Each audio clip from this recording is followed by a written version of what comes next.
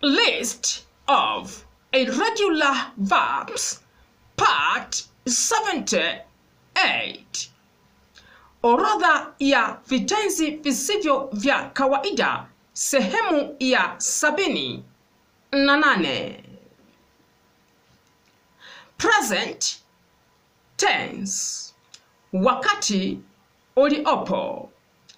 Past tense, wakati uliopita.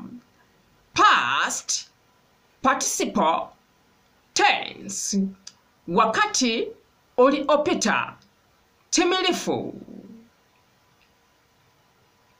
Share, nyoa, manyoya. Share, nyoa, manyoa. Alinyoa manyoya. Sheat, alinyoa manyoya. Shon, amenyoa manyoya. Shon, amenyoa manyoya. Shed, ambua. Shed, ambua. Shed, ame ambu a. Shed, ame ambu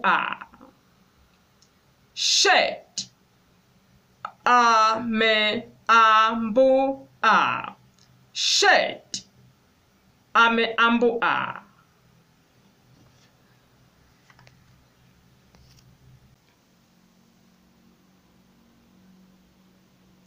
Kwa kujifunza Kiingereza kwa utaratibu, hii ndiyo chaneli yako, na kama ndiyo mara yako ya kwanza kabisa unafungua video hii na unakutana na somo hili e, usiangaike.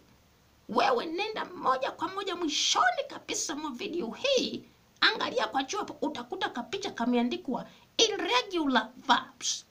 Bonyeza hako kapicha utaanza kusoma kuanzia somo la kwanza kabisa linalohusiana na vitenzi visivyo vya kawaida.